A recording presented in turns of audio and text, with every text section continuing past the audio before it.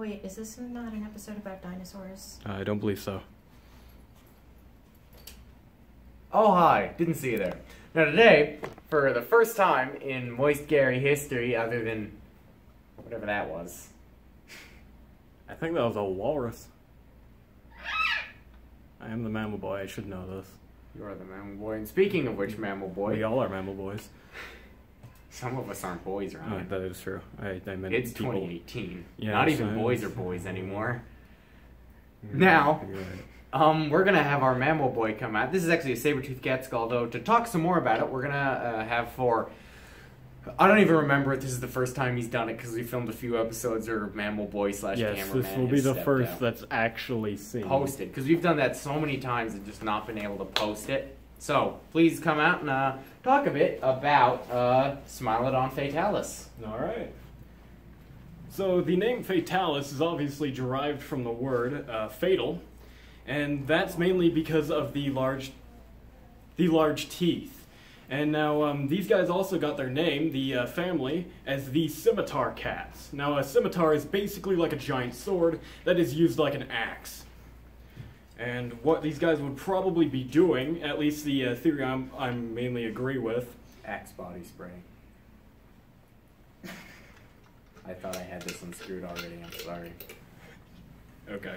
But the theory that I most agree with is that these guys would clamp down on a horse's or anything else's neck, um, basically clamping both the windpipes and letting the jugular bleed out.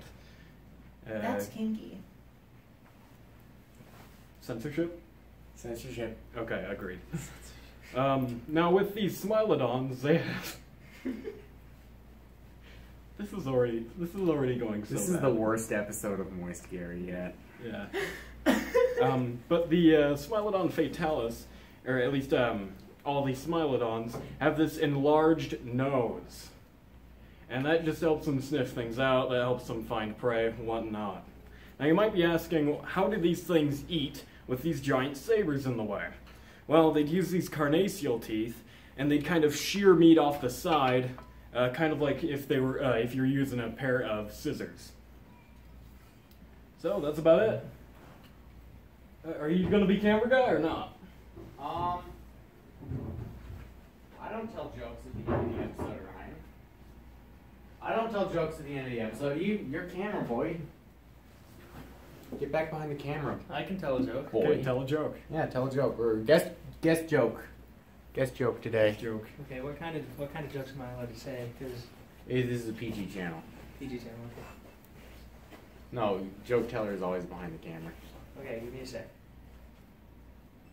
Professionalism.